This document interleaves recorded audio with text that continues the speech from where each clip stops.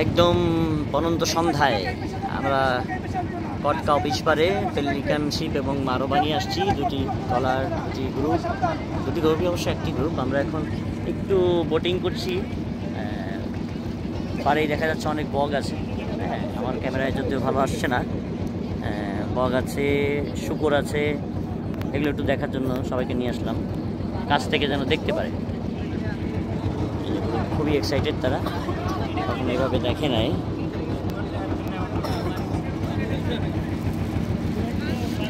আমাদের দেখে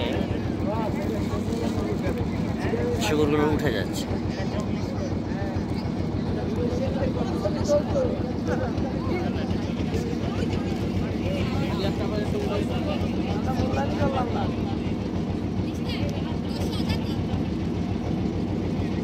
সবার ব্যালেন্স ব্যালেন্স ঠিক থাকতে হবে। কিন্তু ভয় পাবে।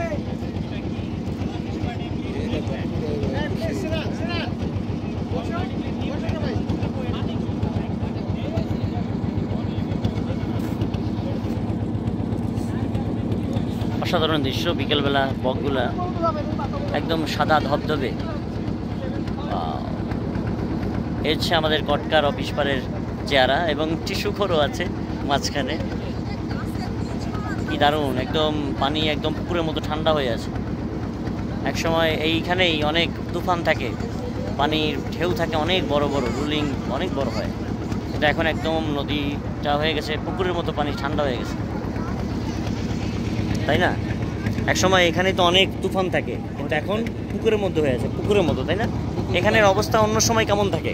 আসলে অন্য সময় আমরা এখানে এত দেখতে পাই না ওয়াইল্ড দেখতে পাই না। কারণ হচ্ছে এখন ফাটা কিছু কিছু মাছের মানে চিংড়া মাছের বলেন বা ছোটো ছোটো মাছগুলো কিছু নালার ভিতর রয়ে গেছে। এই যে বিকাল টাইমটায় এই বকগুলো এখানে আসছে। আসলে আমি এটা উপভোগ করতেছি। খুব ভালো লাগতেছে শান পেছাতে এসে। ধন্যবাদ শান ভাই।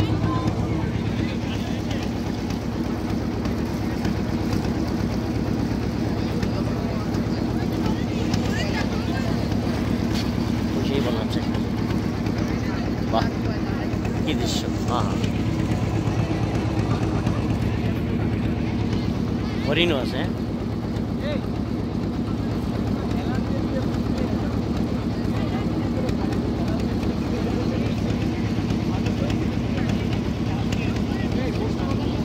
এই গাছগুলো দেখবেন আপনারা যে মনে হয় যেন কেউ কেচি দিয়ে সুন্দর করে কেটে দিয়েছে।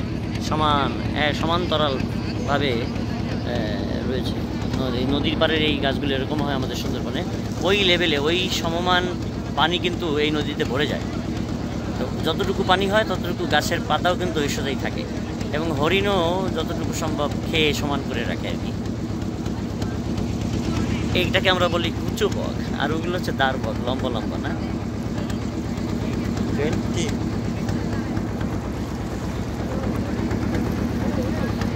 ওই যে একটা হরিণও আছে।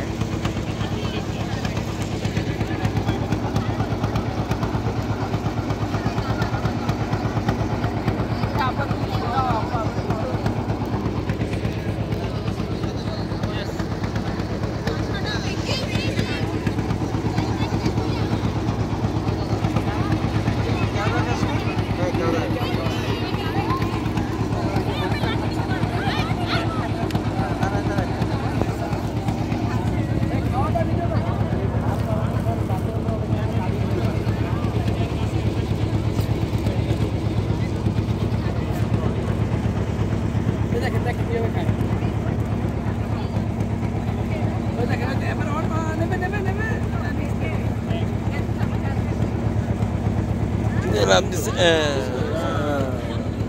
এবার বসছেন গাছগুলো এরকম কাটা কেন এক লেভেল কেন হরিণ যতদূর পেয়েছে ততদূর পাতাটা খেয়েছে এর এক লেভেল মনে হয় যদি কেউ কেটে দিয়েছে এই জন্য এটার নাম হচ্ছে কেউ কাটিনি ইয়ার কাটিনি।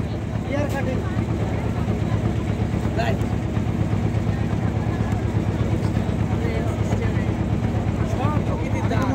মনে করে যেন পানিতে পানি উঠে